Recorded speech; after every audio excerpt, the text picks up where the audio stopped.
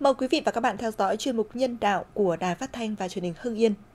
Thưa quý vị và các bạn, vừa qua Hội chữ thập đỏ tỉnh phối hợp với Trung tâm Đào tạo cán bộ Trung ương Hội chữ thập đỏ Việt Nam tổ chức khóa tập huấn sơ cấp cứu cho cán bộ, tình nguyện viên, thanh niên chữ thập đỏ hai tỉnh Hưng Yên và Hà Nam. Tại đây, các học viên đã được học 24 kỹ thuật sơ cấp cứu nâng cao với các nội dung như các nguyên tắc cơ bản trong sơ cấp cứu tai nạn thương tích, kỹ thuật di chuyển nạn nhân khi cấp cứu, sơ cấp cứu bị dị vật, tắc đường thở, sơ cứu đuối nước, điện giật. Việc tổ chức lớp tập huấn với mục tiêu phát triển lực lượng tình nguyện viên có kiến thức kỹ năng sơ cấp cứu, sẵn sàng tham gia ứng cứu khi có tình huống tai nạn xảy ra. Từ đó có phần đẩy mạnh tuyên truyền, nâng cao nhận thức của người dân về tầm quan trọng và ý nghĩa của sơ cấp cứu ban đầu.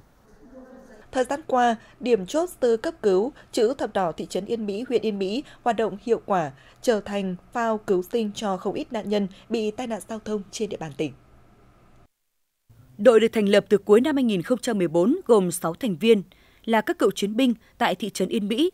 Tại bến xe Yên Mỹ, đội đã cắm biển điểm chốt sơ cấp cứu ghi số điện thoại của các tình nguyện viên chữ thập đỏ.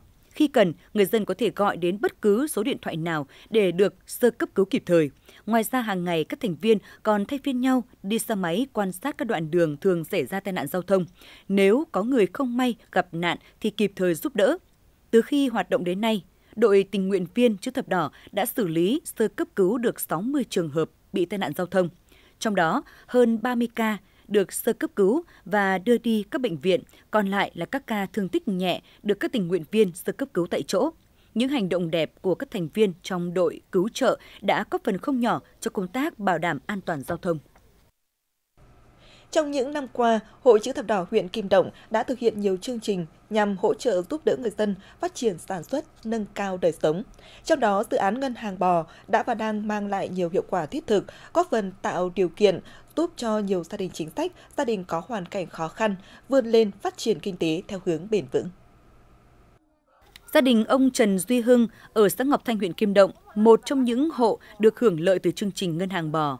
Ông Hưng là nạn nhân chất độc da cam thuộc hộ nghèo, kinh tế chỉ trông vào mấy sào ruộng. Muốn mua con trâu, con bò về nuôi, phát triển kinh tế gia đình cũng khó, vì tiền để đầu tư mua con giống quá lớn so với điều kiện kinh tế của gia đình. Năm 2008, qua bình xét, gia đình ông được Hội chữ thập đỏ huyện Kim Động tặng một con bê sinh sản. Sau hơn 10 năm nuôi và chăm sóc, bò mẹ đã sinh được 8 bê con. Gia đình ông đã bán được 6 con bê với số tiền khoảng 60 triệu đồng, trang trải cuộc sống. Hai con còn lại, ông để gây giống. Nhờ sự quan tâm hỗ trợ kịp thời của Hội chữ thập đỏ huyện Kim Động đã tặng cho gia đình tôi một con bê sinh sản. Đến nay, cuộc sống của gia đình tôi thay đổi từng ngày. Sau 10 năm triển khai thực hiện chương trình Ngân hàng bò, Hội chữ thập đỏ huyện Kim Động đã phối hợp với các đơn vị tặng trên 20 con bê sinh sản cho các gia đình với tổng trị giá gần 300 triệu đồng.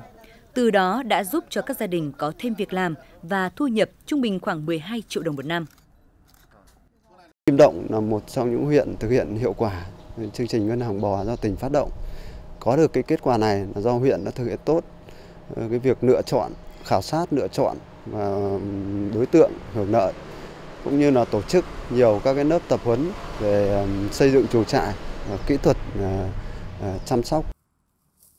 Tiếp tục phát huy hiệu quả từ chương trình ngân hàng bò, thời gian tới, các hội chữ thập đỏ huyện Kim Động đang tích cực vận động kêu gọi sự chung tay giúp sức của cả cộng đồng để có thêm nguồn kinh phí hỗ trợ bò giống cho hộ nghèo, gia đình chính sách.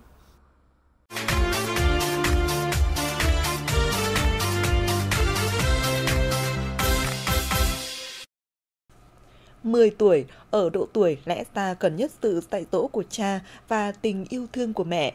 Nhưng em Vũ Công Hiếu ở thị trấn Ân Thi, huyện Ân Thi lại không có được điều đó. Bố mẹ lần lượt qua đời, để lại em bơ vơ trong ngôi nhà vắng. Khi Hiếu sinh ra được 2 tháng tuổi, bố em không may qua đời. Từ đó mẹ em là chỗ dựa duy nhất với em. Song thật nghiệt ngã, ngày 22 tháng 6 năm 2019, mẹ em cũng qua đời do mắc bệnh hiểm nghèo mồ côi cả cha và mẹ. Hiện Hiếu đang sống cùng ông bà ngoại già yếu trong căn nhà cấp 4 đã xuống cấp. Ông bà Hiếu không có lương hưu, việc làm để kiếm tiền nên việc cho Hiếu ăn học trong thời gian tới là rất khó khăn. Bất hạnh và thiếu thốn như thế nhưng Hiếu luôn là cậu bé ngoan, chăm học. em ý thức được hoàn cảnh của mình và luôn tự cố gắng vươn lên. Tuy nhiên, em vẫn còn quá nhỏ để có thể tự lo cho cuộc sống của mình. Cần lắm những tấm lòng hảo tâm giúp đỡ để em vượt qua mất mát. Mọi sự giúp đỡ tới em Hiếu xin gửi về địa chỉ Đài Phát thanh và Truyền hình Hưng Yên, điện thoại 0363 089 089. Quý vị và các bạn thân mến, chuyên mục nhân đạo hôm nay của Đài Phát thanh và Truyền hình Hưng Yên xin được khép lại tại đây. Cảm ơn quý vị và các bạn đã dành thời gian theo dõi.